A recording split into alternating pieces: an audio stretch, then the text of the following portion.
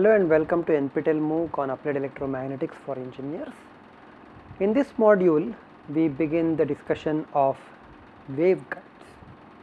We have already seen one way of conveying information that is the transmission line. So, a transmission line we have seen that also supports transverse electromagnetic wave or if we have not seen that we will see that one shortly. But a transmission line structure is conventionally different from a waveguide structure because a transmission line requires a pair of conductors whether it was a two wire conductor that we talked about or the microstrip that we haven't talked about but showed uh, you that or the coaxial cable that we talked about. You know any of the uh, transmission line structures are differentiated from the waveguide structures by having two conductors at least a pair of two conductors. You can actually have multiple conductors so that becomes what is called as a multi-conductor transmission line something that we won't be talking about it here. So why do we need waveguides if we already have transmission lines? Unfortunately, if we have transmission lines, the structure of a transmission line is such that if you take a two wire line, there is a nice separation between the two wires and any of the external electromagnetic fields can actually interfere with that. Okay. Moreover, the geometry of the transmission line that we consider determines the inductance and the capacitance of these structures as we have already seen right. So, we have evaluated capacitance of a few transmission line structures, we have evaluated inductance of a few transmission line structures and because these inductance and capacitances eventually you know show a frequency dependent behavior, the bandwidth of these structures as the frequency of operation starts to increase, the response of this drops out and hence they have a bandwidth which is defined uh, depending on what transmission line structure that you are considering. The bandwidth could be a few hundreds of megahertz or it could be up to about say 3 gigahertz or a very well designed coaxial cables can work up to 5 to 10 gigahertz.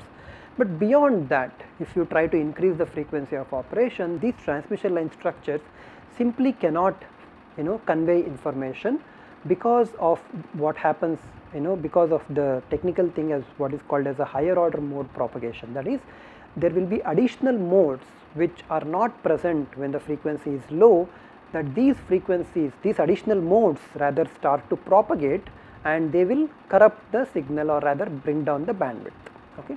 So, you have to redesign these transmission line structures such that you either emphasize those higher order modes which anyway start to propagate at very high frequencies or you try to eliminate them. Because eliminating is not possible you try to make the best scenario out of this. You actually design structures such that for a certain frequency range you know up to a certain frequency range there won't be any propagation. But once you start propagating or once you exceed the frequency minimum frequency or the cutoff frequency then multiple modes can actually propagate. The advantage here is that you are actually pushing the range of operation anywhere from 10 gigahertz all the way up to 100 gigahertz or slightly more than that in some cases. Okay. So, what you have is a very interesting uh, you know um, structure which will be different from the transmission line structure because this structure will have only a single conductor and this single conductor structure as we will see will not be able to support transverse electromagnetic waves okay but they will support higher order modes and the advantage is that they go much beyond than what is possible with the simple transmission line structures okay in terms of the frequency of operation. So, we will look at uh, in this model we will just give you a brief idea of what these uh, waveguides are and give you couple of ideas as to how to relate at least one of the waveguides to a transmission line okay and show you uh, what, what should be the procedure in order to analyze these waveguide structures and from the next module we will actually analyze the common waveguide structures okay. Before we even talk about waveguides here is a problem that we have already seen okay. So I have an interface so let us say on the right hand side of this interface is a nice conductor for the moment I will assume it to be a perfect electric conductor which means there is no tangential electric field on the boundary. Let us also call this as the x axis and the incident wave propagating along the z axis. I do not want to choose a normal incidence, I want to choose an oblique incidence in this case. So, let me choose an oblique incidence at an angle of theta i. Okay. because the right hand side is a conductor obviously no electromagnetic wave propagates into the second medium and whatever the incident EM wave that you have would simply be reflected back at the same angle of you know incidence. The angle of reflection is the same angle at the angle of refraction. The moment you have a obliquely incident light, you have a choice between TE and TM mode and I will choose in this particular case to work with TE modes because they are slightly simple to understand the concept without getting too much into mathematical details.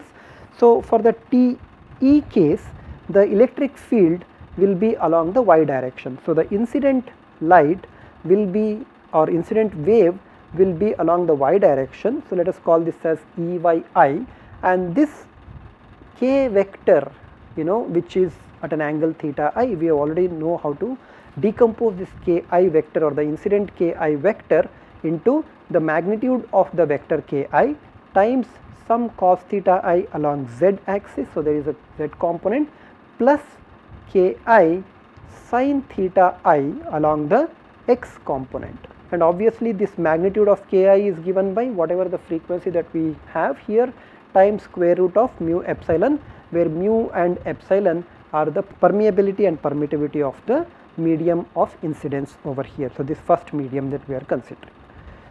Since light is reflected or wave is reflected, so the reflected wave also is assumed to be in the is polarized along the y direction itself and the reflected wave vector kr will have the same magnitude as the incident wave vector obviously because it is in the same medium.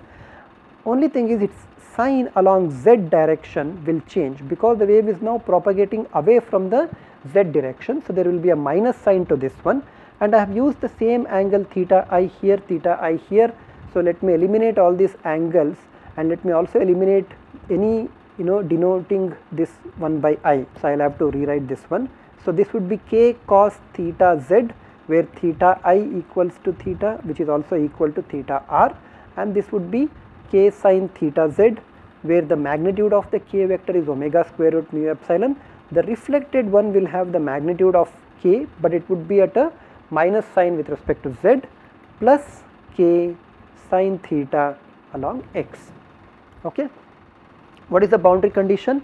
Well, the boundary condition is that the total tangential electric field in the first medium must be equal to 0. That means Ey incident plus EYR reflected must be equal to 0. There are no tangential electric fields on the second region. Okay. And what is EYI? It will have some magnitude. So, let us say EY uh, or E0 is the magnitude of this electric field, incident electric field.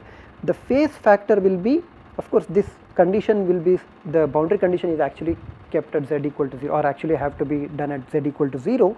So, you have E0 e power minus j k cos theta z e power minus jk sin theta x correct. So, this is the incident one and when you evaluate this one at z equal to 0 you will have E0 e power minus jk sin theta x for the incident wave. For the reflected wave the amplitude would be so let us say E0 prime is the amplitude of the reflected wave. So, this would be e power E0 prime e power jk cos theta z this of course at z equal to 0 there is also e power minus jk sin theta x. Okay so this will give you e0 prime e power minus jk sin theta x. The sum of these two should be equal to 0 obviously if this has to be valid for every point in x this should be equal to I mean that should not be existing and E0 prime must be equal to minus E0 right. So, the total electric field in the region 1 can be written as a field which is y directed because that is the field that we have considered. E0 e power minus jk sin theta x. And instead of writing k sin theta I will write this one as kx times x where it is understood that kx is magnitude k times cos theta. And what about the you know the phase factor for the z well, you have for the incident field e power minus j k z z right and for the reflected field minus e power j k z z right. So, all the other things are the same except that we have a minus sign over here. Now, this is nothing but minus 2 j sine kz into z. Of course, this is at z you know less than in the in the sense that away from the interface. Okay. So, away from the interface the total electric field actually has a very interesting scenario. So, it will I mean interesting uh, expression you have minus 2j some complex number E0 sine kz into z e power minus j kx into x. Okay. So, look at this if you want to sketch the magnitude of the total electric field I would like to sketch that one as a function of z over there at z equal to 0 obviously this would be equal to 0 and as the value of z you know as you move away from the interface at some distance kz into z equal to some distance d. So, if I am sketching this one as a function of kz times z at kz or rather if I am sketching this one as a function of z at some distance z such that z equal to d again you might have a situation where kz into d will be equal to some multiple of pi correct. So, when this happens when the wave vector along z times the distance d from the interface is equal to m pi the magnitude of the electric field again goes to 0 or rather the electric field there goes to 0. So, I am sketching the magnitude but the total electric field there goes to 0. It does not stop at this point you can actually continue this one. So, this first 0 happened at d from the interface z equal to 0 or minus d in case you are uh, you know in case you want to be very specific. I mean at another distance which let us say is 2d which is the multiple of this one the electric field goes to 0 again okay. Now imagine that I actually have kept one more perfect electric conductor at this point okay. So I already had a perfect electric conductor here at z equal to 0 which was my original interface. Now I have placed another perfect electric conductor at this point where the distance between the two perfect electric conductors is now d right. Now here is a very interesting question. Does the electric field realize that there has been a second perfect electric conductor? The electric field does not even realize that there is a second perfect electric conductor because anyway it would have gone down to 0 there. The electric field would have gone to 0 there. Just because we placed a perfect electric conductor means that we have not changed the boundary condition at all and it does not have to be that you have to place this perfect electric conductor at D, you can place it at 2D, 3D, 4D whatever. So, wherever those integral multiples of D that you place provided that you keep all the other things constant that is the angle theta to be constant then the electric field and the corresponding magnetic fields automatically satisfy the boundary condition okay. And in case you also make instead of these two wires if you make them two plates okay. So, if you make these two as two plates which extend all the way along the x direction and along the y direction, but then they are separated by a distance d along the z axis, then you will realize that even more interesting scenario or even more interesting thing that the wave actually shows oscillations along the x direction. That is there is a phase factor e power minus j which when you go back and write down the real uh, you know z, x and t, x, z and t kind of a thing, you will see that this would be cos omega t minus k x x right. So, is not it amazing that the wave although was incident and then got reflected the resulting wave is actually transmitted or is it it is guided or it is propagating along the x axis that is along the interface direction this is actually you know propagating. So, this structure supports propagation of the electric fields and of course, the magnetic fields which we have not written here, but it does support the magnetic field as well when you analyze it in the TE case or TM case you will see that just by having two parallel plates which are separate there will be wave propagation inside and this wave propagation of course depends on the angle of incidence and as the angle of incidence changes there will be some situations where the electric field automatically goes to 0 right? But there are other situations where it does not go to 0 when it does not go to 0 the field would definitely see a different uh, you know uh, try to it will be different. So sine kz z, will be the way the field is actually going back. But then if the second perfect electric conductor is not placed at the appropriate position then it will not be able to satisfy the boundary condition and the condition that there is a PEC on the same on, on that particular distance.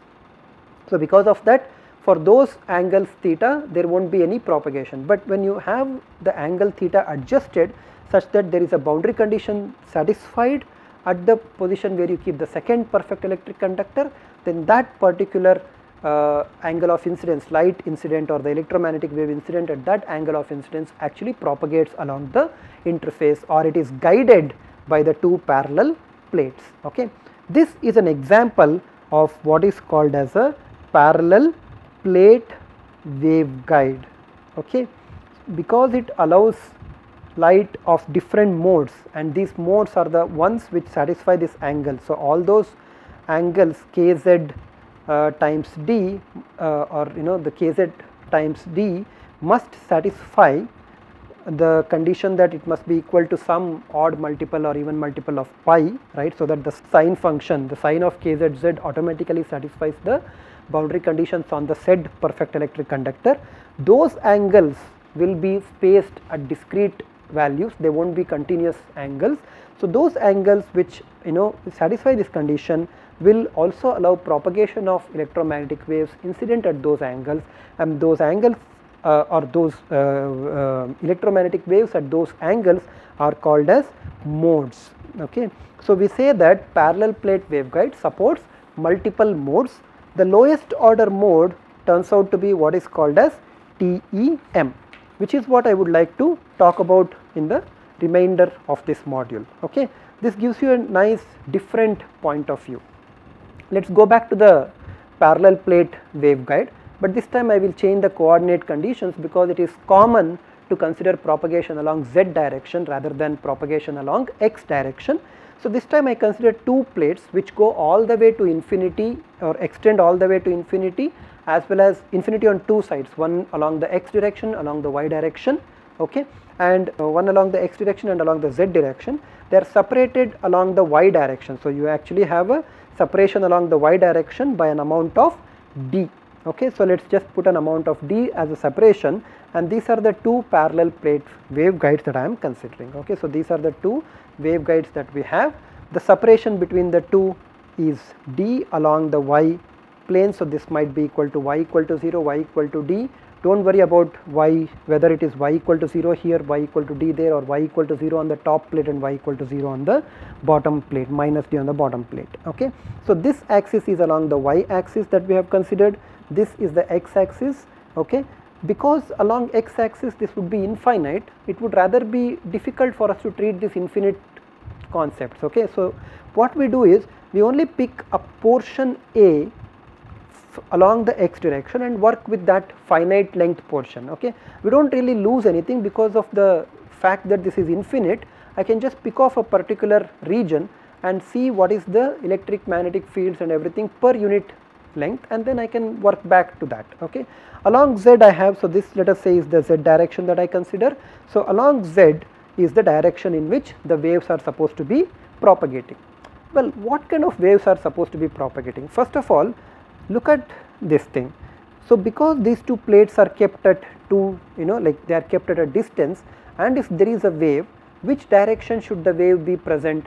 Well if I pick a small strip here okay. So, I pick a strip over here the electric field because of the fact that this is a perfect conductor the y equal to 0 is a perfect conductor the electric field must be directed from one conductor to another conductor. If I arbitrarily choose that this conductor from which the electric field originates as the bottom conductor then I have the electric fields to be uniform and originating from the bottom conductor and reaching all the way to the top conductor. So, equivalently what I you know have kind of assumed is that there are these positive charges in this strip down here and there are these negative charges on the top plate. So, essentially we have a positive charge here negative charge here so that the electric field lines are along the y direction and they would be going into uh, going from one plate to the other plate okay.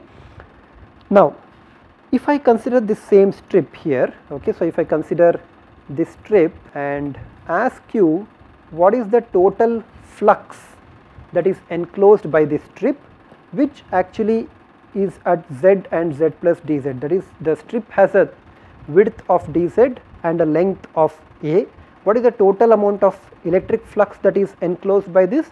The amount of electric flux let us call this as psi electric is equal to epsilon E y the strip width is A into dz okay. Why should it be epsilon Ey? Because the electric field lines are uniform and originating along I mean and, and oriented along the y direction epsilon times electric field will be the flux density flux density times the area of this green strip will be A into dz and this is the total electric flux density of which if I now assume Ey to be time varying then the displacement current which is di d psi electric flux by dt must be in the phasor form be equal to j omega epsilon Ey A dz.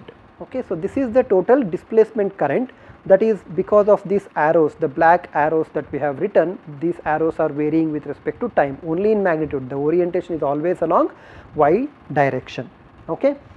Now on the same strip if I apply Ampere's law here okay? So by going through this particular path okay? So what do I get? Along this path the magnetic field is H and let us say it is oriented along the x direction. So this is Hx of z plus dz and this would be Hx of z itself. So you can look at the way the fields and other things are oriented and you can show that when you apply the integral h dot dl right which must then be equal to the displacement current as we will show I mean as we know that one.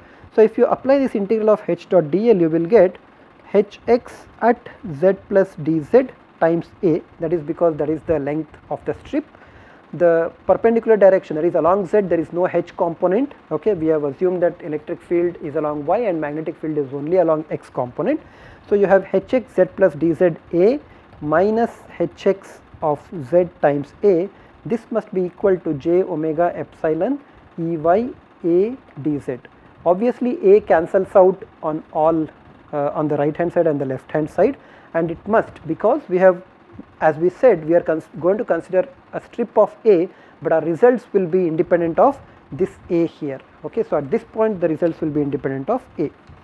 Now let me consider a different kind of a strip. Okay, I have a parallel plate waveguide okay so i have a parallel plate waveguide coming off like this but this time i consider a strip. So let me consider the strip here and this time the strip that i consider will be like this. Okay so this is the strip that i am going to consider. The width of this strip will be again should be in this direction. So the width of this strip is dz but the height of this strip will be b. Okay so what is the total magnetic flux coming out of this. So, H is along the x direction. So, what is the total magnetic flux coming around? So, let us call this as phi mag and this magnetic flux will be mu Hx which is the magnetic flux density B vector times B dz will be the width of this strip. So, it will be B times dz okay. And now if I apply uh, appropriately oriented loop here. So, if I apply the appropriately oriented loop around this particular loop, if I apply integral of E dot dl that must be equal to minus j omega magnet phi mag right. So, this would be the total uh, you know the magnetic or the magnetic flux and then the rate of change of magnetic flux would be the EMF induced over this closed contour E. Of course, E on this uh, path will be evaluated at z plus dz whereas on this path must be evaluated as z itself okay. So when you apply this one so you can see that this would be b times Ey of z minus b times Ey of z plus dz this must be equal to minus j omega mu hx b dz okay.